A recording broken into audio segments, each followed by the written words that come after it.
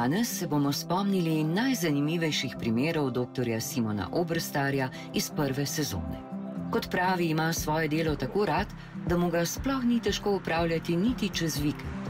Da bo tako, je verjetno vedel že kot deček, ko je na terenu pogosto spremljal svojega očeta, ki je bil tudi veterinar. Po očetovih in bratovih stopinjah pa je šel tudi Simonov dvojček Tadej, ki smo ga prav tako spoznali v super reševalcih. Kadar je na poti, si Simon čas rad krajša s poslušanjem rock glasbe. Po srcu je pač roker in rad zaprenka na bas kitaro. Od zdravljenja pljučnice do brušenja parkljev, Simon je kos vsakemu primeru.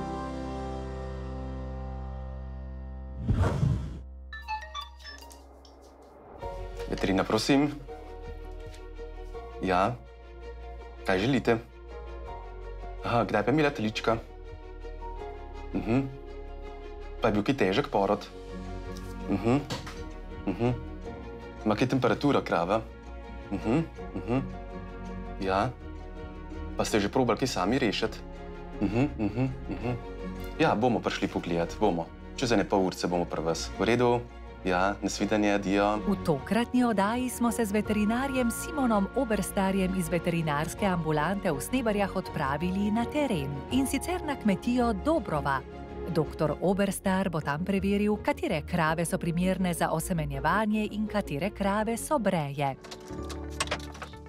Smo na kmetiji Dobrova, pršimce se po domače reče, ukvarjamo se z proizvodnjo mleka imamo 17 mozanc, pa večino mleko dajemo v pač zadrugo.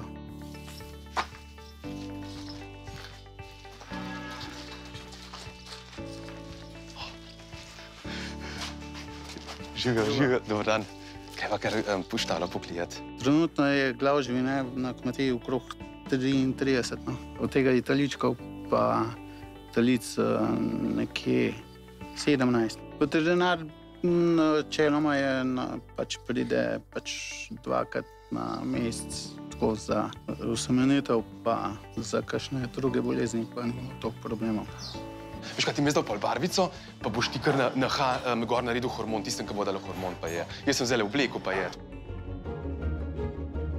To je zaščitna obleka za, za to, da nismo pri delu umazani, ker bomo gledali krave z ultrazvokom pregled na brajst, da vidimo, če, če smo nekaj uspešni pri semenitvah, pa da vidimo pri kravah, ki so po potelitvi, katere še niso prišle v ciklus, da jih potem pogledamo z ultrazvokom, pa po potrebi apliciramo kakšen hormon, zato da potem čim prej jih usemenimo, da bo čim prej teliček.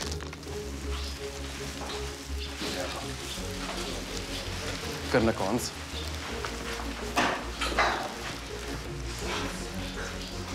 Hm? Prvega osmega bila semenjena? Ne, to je premalo. Razlike, ne? Uhum, tale.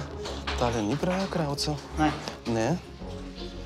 Tale ni, ker se vidijo rogovi. Noter, ok, ker novi pišha.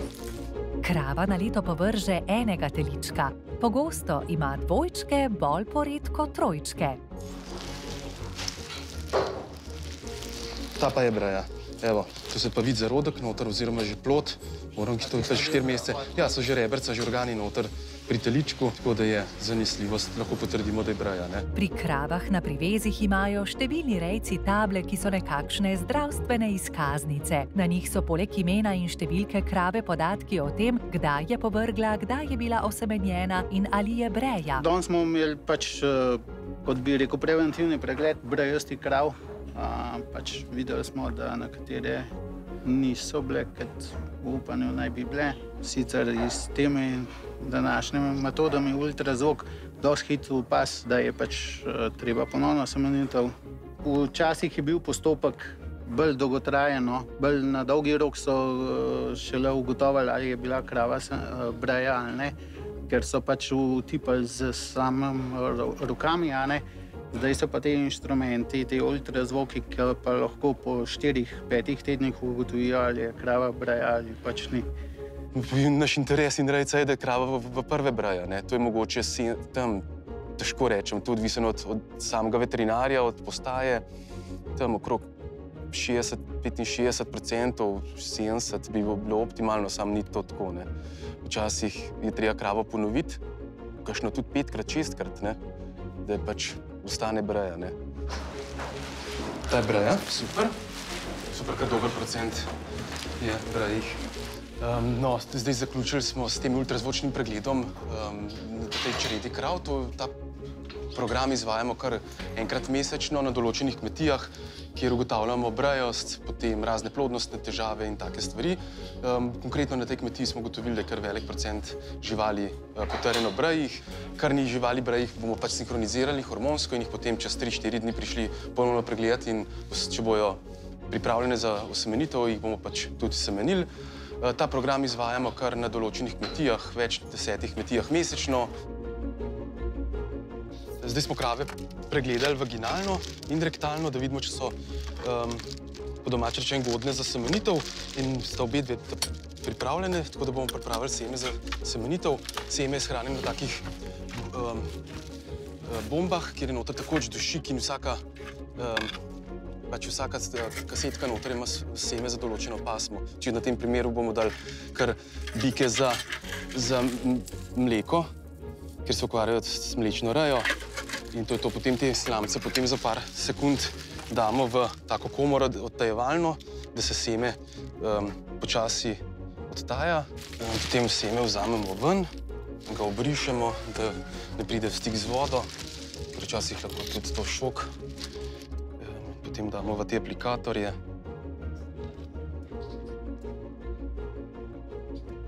Strižemo na koncu slamce, potem nataknemo te plastične kateterčke oziroma prevleke za katetre. Preverimo, če vse v redu, mora biti koliko gor. Seme pridete nekaj zateče v zadnje, da je potem optimalno.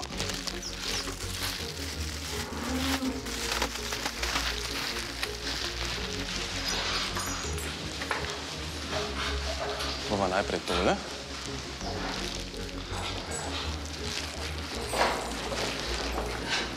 O, pridna. Je pa tudi ogromen rejcev, ki pa tudi sami izvajajo semenevanje. Ne? Da imajo doma svojo bombo, um, to, oziroma ta kontejner, bombo, ne, kontejner semenevalni, in potem so naredili tečaj semenevanja in potem sami izvajajo semenitve. Ne? tega je vedno več. No. Čeprav veterinari smo pa kot večkrat v pomoč, da jim potem pregledamo krave na brajost in tako naprej. En z drugim sodelujemo, tako da je kar uspešno. Um, se menimo zmeraj tako, da probamo fiksirati vrat maternice, da potem lahko s tem katetrom pridemo v sam rok oziroma v telo noter in potem apliciramo seme. Jaz ponovadi apliciram kar v telo, pa mečkam levo, desno v vsak rok, pa potem upam, upam na najboljšo uspešnost. Čeprav so včasih idealni pogoji, pa pa ne rata zmeram, tako kot bi mogli. Pač določene krave so hitreje breje, kakšne ne, pa imajo težave, kar pripomore, oziroma so različni vzroki za to. Ne. Včasih je optimalen čas osemenitve, včasih seme samo ni tako kvalitetno, včasih je vzrok tudi, tudi um, kakšna prehrana, kakšni toksini v krmi povzročajo to, da se pač krave lahko večkrat pre, preganjajo in tako naprej.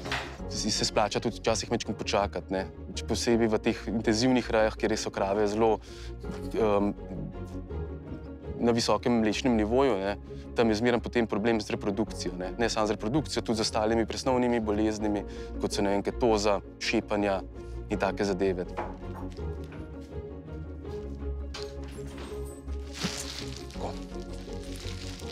Moramo pa to zelo nežno delati, ker to je le živa žival in oziroma živa stvar, ker je problem pri takih zadevah, če smo preveč agresivni, tudi poškodujemo, potem pride do krvavitev sami maternici in krije po en stran sovražnik tega, da za semenčice ne hitro pride do odmrtja in nima ni uspešne proditve.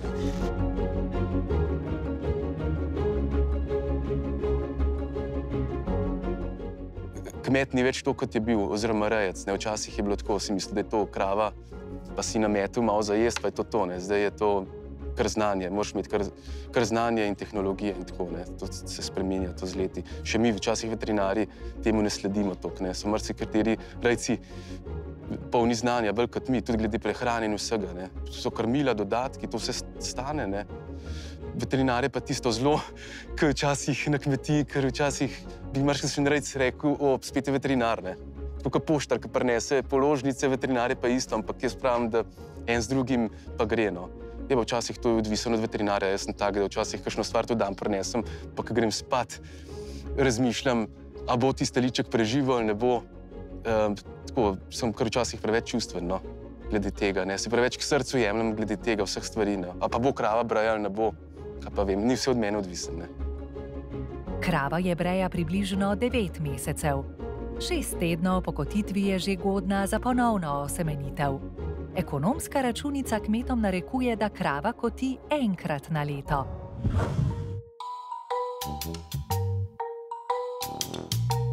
Na kmetijo, kjer bomo, uh, kjer so nas klicali, da bi rad, da večkrat pogledamo parkle, um, določenim kravam, tukaj se ukvarjajo s prirejo mesa, imajo tudi krave dojilje, pa občasno tudi izvajamo to korekcijo parkljev. No. Zdaj načeloma rejci, ker sami to izvajajo, te kmetiji pa, pa, pa so nas prosili, da bi to mi naredili. No. Pa bomo pa več konkretnega povedali, ko bomo se lotili dela. Kar v 95 odstotkih je šepanje pri kravah povezano s težavami s parki. Krava, ki šepa, daje manj mleka in je manj plodna. Nasploh ji šepanje povzroča precejšnje bolečine. Tle smo prišli, ker nas je um, lastnik klical, da bi pogledali parkle tem kravam. No, krave so pač na globokem nastilju, so včasih tudi kakšno genetsko predisponirane k temu, da ne pride do obrabe same roževine um, na parklih in včasih pride do kakšnega šepanja. Tako da bomo pregledali um, kar nekaj krav, če imajo mogoče včasih se pojavljajo te značilni um, ulkusi na, na parklih, takrat krave tudi težko hodijo. V teh konkretnih primeri, primerih ne, so pa rečemo v mlečnih rajah.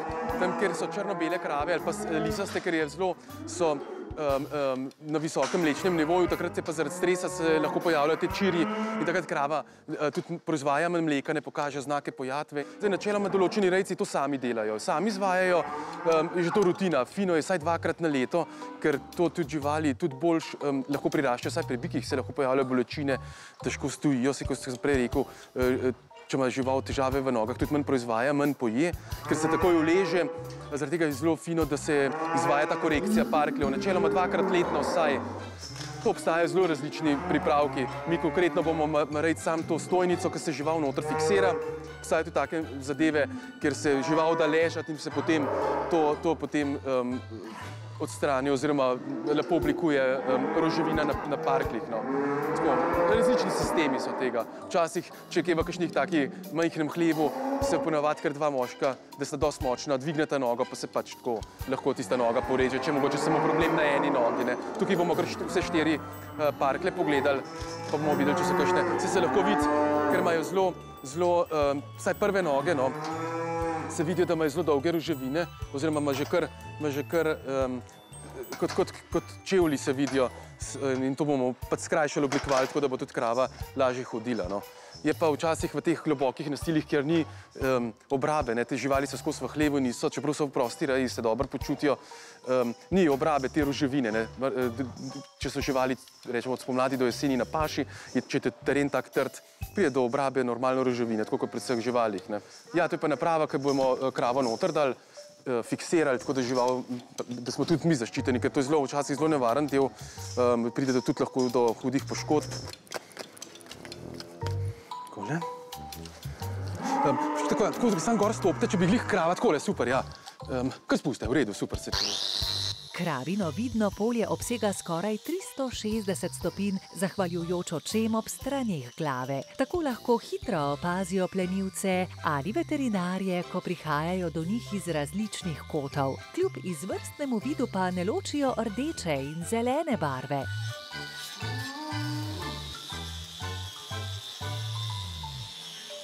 Tam ima drugače ima lepe, nima nič. Predne, predne ima, ja, ja, pa zelo mehko ima roževino, mečkant, ja, ja. Bom jaz še samo še, še jod iskat, bomo fajn, fajn pošpricam z jodom. Bomo samo takole fajn z jodom razkužili. V redu. Zdaj, če bi bilo, da pride do kakšnega ulkusa, da se ga to izreže in pa povije, tukaj ni treba, tudi če mečken zakrvavi, um, se to zaraste, mečken z jodom razkužimo in to, to. Gremo kar naslednjo nogo.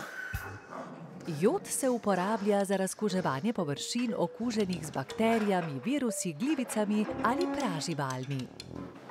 Merkite, da vas ne uprbila, to merkite, sem. Taka se uleže, tudi kole se uleže, včasih je težko pol dobiti, ne. Te lahko? Ker meni dajte tole. Um, tedaj je tole užgal po, po tomole, me vse sesul, vse brata, ne. Moga je, ja, je, gledaj, da je užgal. Ja, ja, kama, kama kolo, ne. Pa dole treba sneti. Um, ja, ja. Šibenik, ja, ja. No, pridna.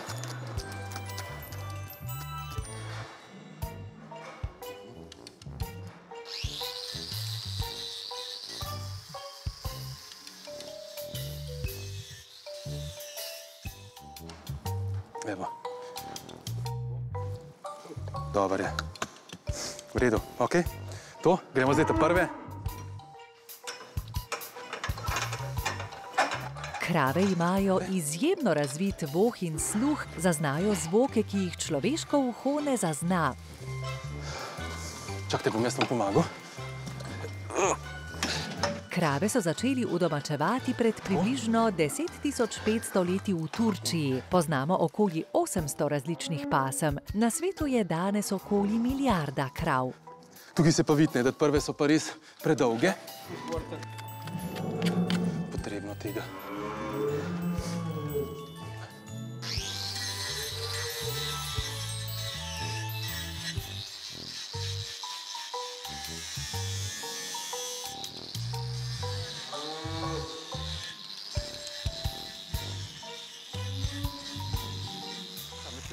Spočijem, to se vidi, koliko je predolgo, pa bomo še, bo treba še vse tole okrog oblikovati, ampak se vidi dejansko, koliko je predolga roževina. Ne. Tudi krave potem lahko noge bolijo, tetive trpijo. Tle se vidi noter za robom, ne, da je verjetno kronična zadeva. Tukaj je bilo, verjetno je bil, zaradi tega tudi gospod rekel, da je šepala krava, je bil gnoj noter. Zdaj pa, če to je že kronično, že verjetno v steklu in taka, kaj na fistula, oziroma kaj en kanalček, bo to še obrezalo okrog, pa, pa bo. Krava bo bolj škodila, vidi se pa, da je, kako so zdaj lepi parkli, ne.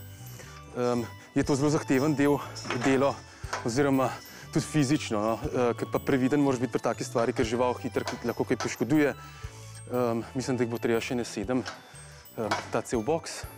Uh, se pravim, tega ne delamo vsak dan, no? ker je tudi časovno nam ne znese, večinoma tudi rejci sami upravljajo, določeni pa nam um, pa nas prosijo, no? tudi ko imajo te stojnice same dom, sami doma, pa pač to naredimo z veseljem, no? čeprav je kar zahteven del, fizičen, se človek razmatra, ampak Um, vem, da potem, ko krava bolj škodi, se tudi mi bolj počutimo. No. Neke vrste manikura, pa pedikura, ja, kravja, ja. lakiramo, glih ne na koncu. No. ampak, ne bi bilo efekta, ker so pač v, v, v gnoju noter. Ampak, ja, za kakšne razstave pa tudi, ne, jih pa tudi krave pobrijajo, jih kopajo vsak dan, um, um, tudi sparkle, vime, um, tako da so res pripravljene, kot, kot manekenke. Nadaljevanje oddaje bo v celoti posvečeno konjem. Najprej jim bomo dobesedno pogledali v zobe, potem pa bomo z dr. Tadejem Obrstarjem preverjali zdravstveno stanje žrebičkov.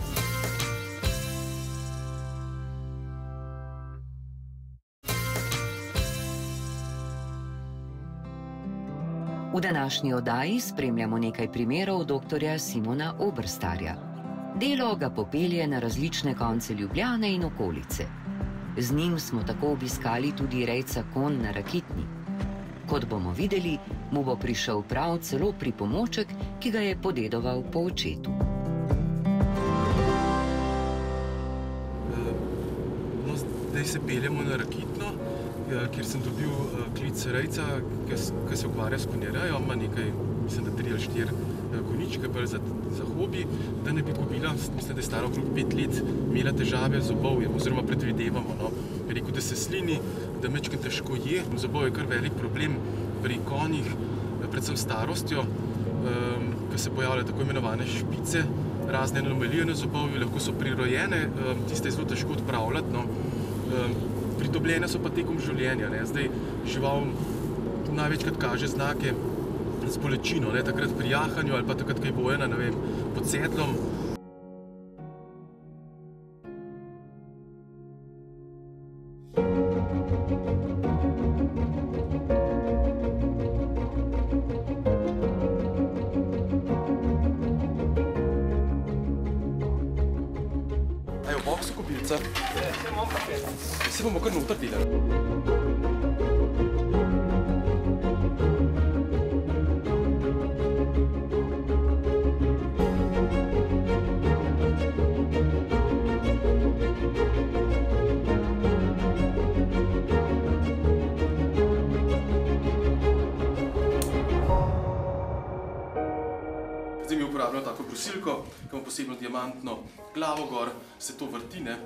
In se potem te zobe lepo oblikuje, oziroma s tem, če ima kakšne nepravilnosti, se potem to lepo pobrusi in pa tak poseben, poseben, poseben odpirač se uporablja za konje. Zdaj tukaj imam enega zelo, zelo starega, bolj arhivskega, to je še moj oče včasih uporabljal, to je mašina taka, ki je zelo precizno narejena ravno za, prav za te zobe. Se pravi, na tržišču obstajajo zelo, zelo različni eh, pripomočki do vrhunskih takih, prav za take, ki se samo s tem stvarmi ukvarjamo.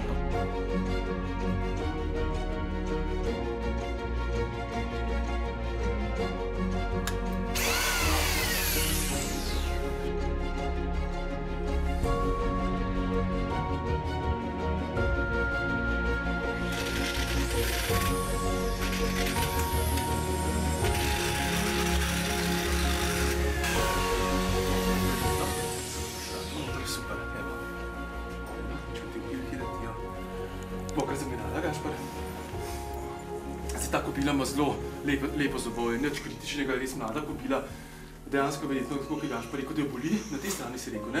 No to je to, tukaj je za mene izpadla krona, ne? To včasih boli, preden izpade, včasih je dovolj samo kakšne klešče, pa se vam potegne, ampak pač brez, se da, brez tega, da se konja, se dela razvijete zmečkene nervozna, vsem, ker so ljudje tu zraven, kamera prisotna, različno odreagira žival, ne? Kljub temu, da je jahana, pridna. Na drugo stran, pa treba res previdno, ne? Zdaj ta aparatura je taka, da nikoli ne moreš 100% za, zaupati, ne? Če bi to konj skrb stisnil, ti komod od, od, odletijo prsti, ne?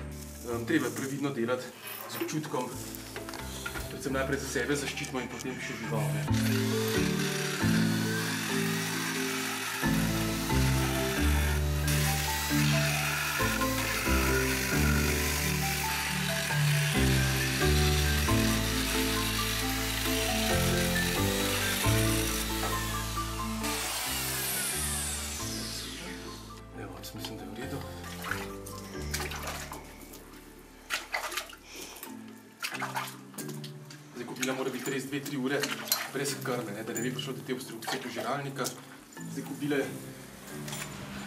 bi mogla normalno potem začeti jesti. Ne.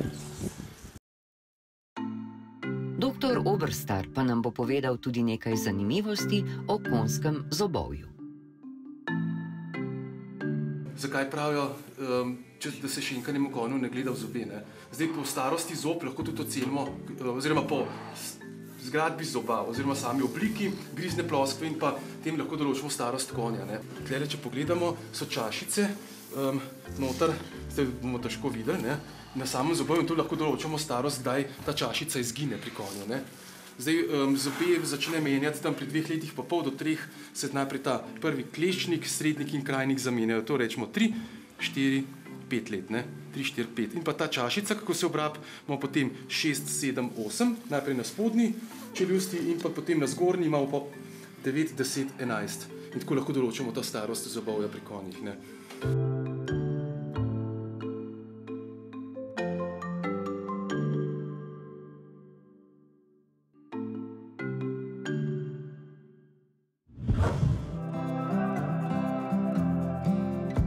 V prejšnji sezoni smo spoznali tudi brata dvojčka Simona Oberstarja Tadeja.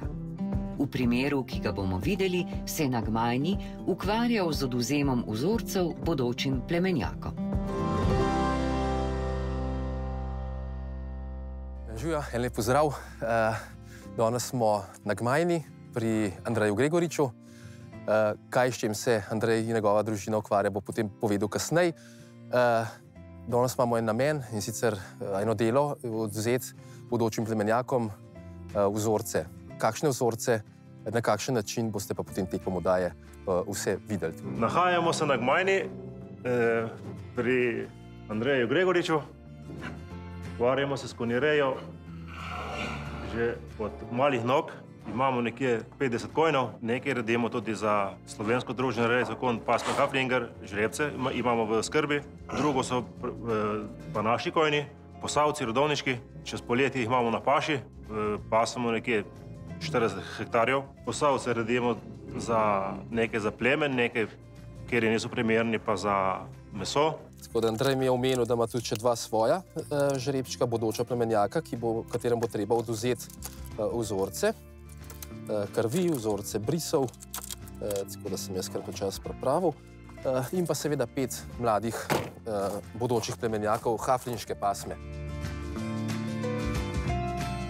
Uh, žrebčki vidim, da so se že eh, prilagodili novemu okolju, Eh, zdaj so ohlevljeni neki dni, uh, tako da zdaj bomo pa vzeli uh, vzorce krvi vzorce uh, iz penisa. Uh, namreč gre za tri bolezni, ki se pojavljajo pri uh, konjih v Sloveniji. Uh, in seveda vse te plemenske žrebce, ki v Sloveniji plemenijo, se vsako leto potem pregleda na te tri bolezni. Žrebčke bo potrebno sedirati uh, pri živi živali, oziroma sploh pri teh mladih. Uh, to so letnik 2019, uh, so bili do nedavnega ob, ob mamah. Pripeljani so bili tudi ob mamah, nekateri so bili na pašniku eh, praktično celo leto. Eh, Tako da Andrej z njimi dobro dela, eh, vi ste se že navajeni na uglavke. eh, Tako da pri živi živali, oziroma pri zavest, zavesti teh mladih žrečev, je te brise, predvsem s penisa, težko oduzeti. Tako da bomo živali malo pomirili, potem jim bomo pa oduzeli še kri. Zdaj vsakega bomo identificirali, da vidimo, kjer žrebček je zdaj. Da bomo seveda, da bodo vzorci sledljivi in potem grejo ti vzorci na veterinarsko fakulteto. Tako da mi dva bova zdaj najprej kar eh, žrebčke sedirala, bomo kar enega pa po enega. Bomo naredili spisek žrebčkov, je, kot sem rekel, pet haflinških in pa dva posavska. Eh, Jaz bom očital čip. Evo, tako čip je odčitan, tako da bomo potem v identifikacijskem dokumentu uh, videli, kater je. Se lahko že tudi na podlagi orisa vidimo, uh, vsi žrebčki so potem orisani.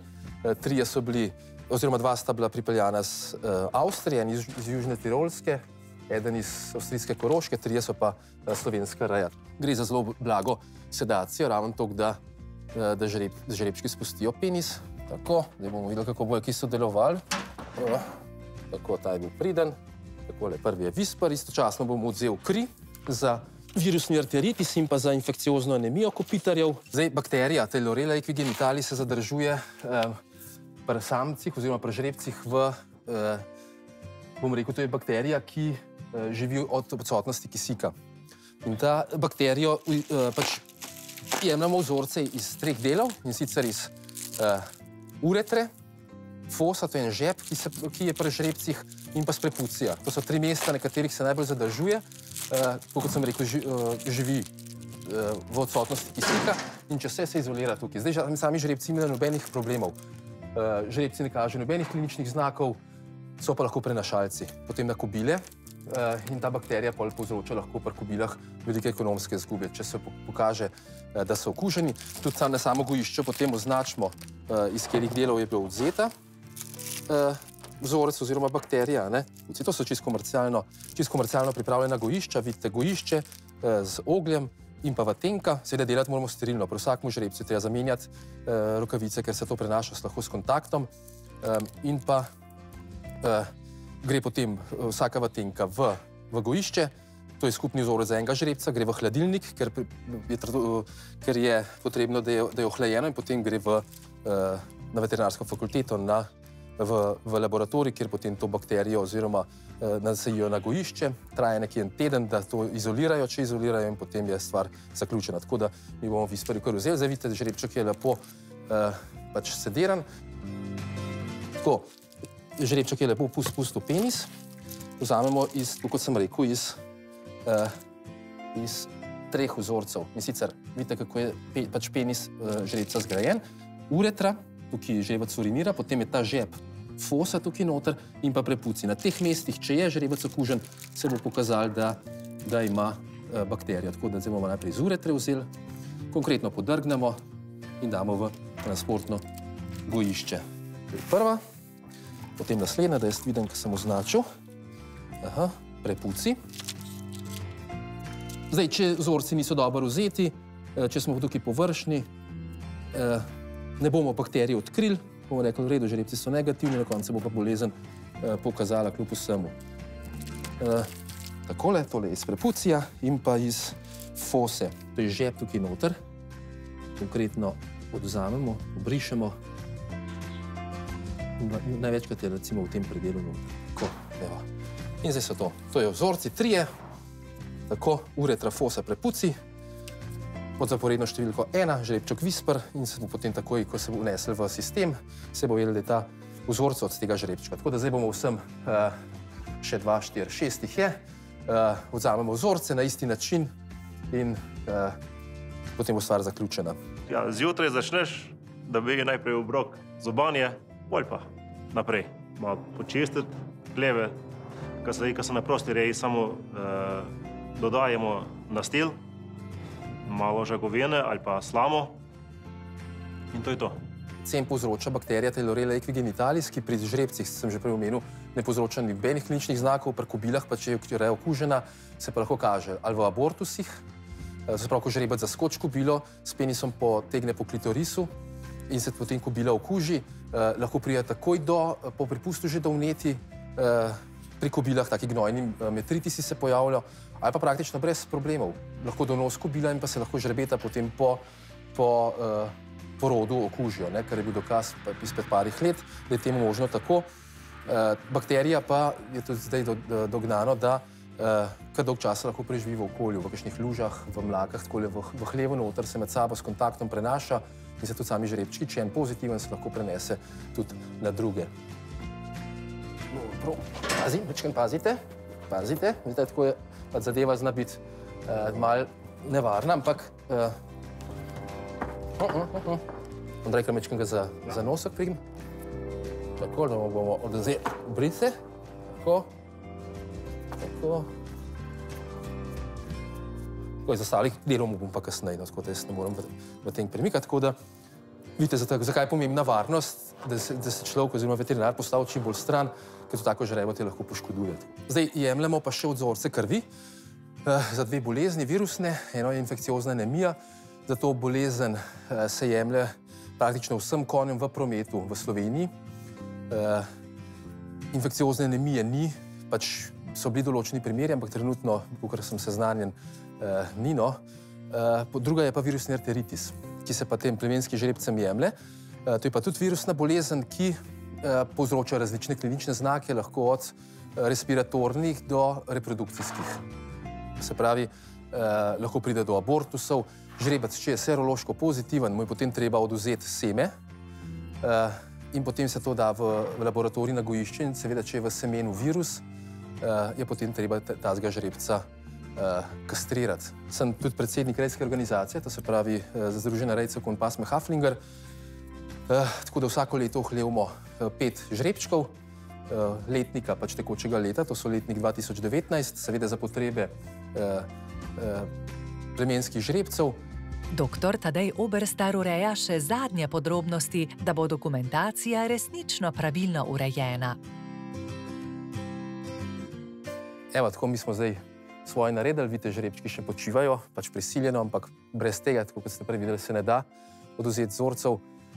Eh, tako da vzorci grejo zdaj v laboratorij eh, in čakamo seveda na, na pozitivne rezultate. Tako kot sem rekel, že glede na to, da se je v lanskem letu pravi tukaj pojavil cem, eh, smo previdni, eh, pri takih stvarih ne moreš iti neki na riziko, pa neki na pol. Tako da eh, smo se tudi letos odločili, da žrečkom vzamemo brise, tako da v tem zrelišču, ki so naši eh, Haflingari in pa Andrejeva dva posavca, smo res kot rejska organizacija in kot jaz, predsednik ali pa kot veterinar, izredno zadovoljen. Žrebčki izredno dobro napredujejo, so res socializirani, tako da potem, ko grejo na pripustne postaje, je z njimi res z užitkom delati. Tako da uh, pač žival rab uh, svojo pozornost, uh, energijo tistega, ki z njimi dela in potem je rezultat uh, viden. Tako da zdaj pa novim izzivom naproti. V Sloveniji so registrirane pripustne postaje. To se pravi, v Sloveniji, zdaj, ne bom ne me za jezik držati, je nekje rekel, 250 do 280, točnega števila ne vem, eh, licenciranih plemenskih žrebcev. Razno raznih pasem, hladnokrvni posavci, haflingari, angleži, kotarhorsi, poni in žrebčar. Eh, ki se odloči, da bo imel pripustno postajo, lahko za svoje kobile ali pa za druge, seveda mora to pripustno postajo registrirati pod določenimi pogoji, da izpolnjuje pogoje, da so žrebci eh, v, v boksih primerno nastanjeni, da imajo pripustno rampo, kjer živali pripuščajo, voditi morajo pripustno dokumentacijo, sami žrebčari se morajo izobraževati. In seveda to je izredno pomembno, predvsem strani kontrole, kontrole pripustov, kontrole ne na koncu zadnje rodovnika, nekaj živali, seveda gre v zakol, ampak kljub temu te živali morajo biti pod sledljive, praktično od rojstva do naslednjih lastnikov ali pa žrebčarjev. Ne. Problem so, bomo rekel, v Sloveniji velik uh, črni žrebci, žrebci, ki se pripuščajo na črno, brez preiskav, uh, potomci, ki od teh žrebcev izhajajo, se marsikdaj ne ve njihovega statusa, velikrat se uh, pri takih živalih bom rekel, tudi ponarejajo dokumenti. Žal, žal je to in pri tem se ne smemo zatiskati oči. Zdaj žrebci so tudi 800-900 kg, te hladno krni, ne.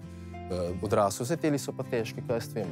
Tam 180, 150, 70 ali pa 250, tudi recimo posavčki imajo več, no, tako da ja, ja so pre, preko 200 kg. Haflingeri imajo po rejskem programu, morajo praviti test pod sedlom in pa v upregi, vsi plemenski žrebci drugačne morajo biti licencirani.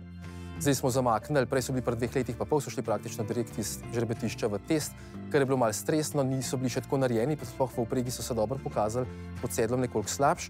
Tako da zdaj grejo za eno leto na pripustne postaje, potem grejo pa v enomesečni test. In seveda v enem mesecu jih potem um, trener strenira v sedlu in pa v upregi. In potem se morajo pred komisijo pokazati. To so zdaj, ko smo zdaj pri njih, so posavci. Ja, sem skozi noter med njimi, tako da niso glih boječi so prijazni. No. Ja, tukaj je pomešano, so in starejši, in manjši, vse eno. Plemenskega žrebca imamo po štali. Žrebec je tristan, plemeni nekje tam letno okoli 40 eh, kubil pripusti. Začne se nekje februarja, pa do septembra. Tukaj traja nekaj plemenilna sezona. Zdaj imamo samo enega. Ja, žrebec je zmeraj malo bolj močne konstrukcije kot uh, kobila. A lahko ga tudi jahaš. Mora biti res dober uh, jahač, da ga obvlada. John Moore je nekoč dejal: Kadarkoli je človek v zgodovini pustil svoj otis v dolgem sponu od barbarstva do civiliziranosti, boste ob njem vedno našli tudi otis konskega kopita.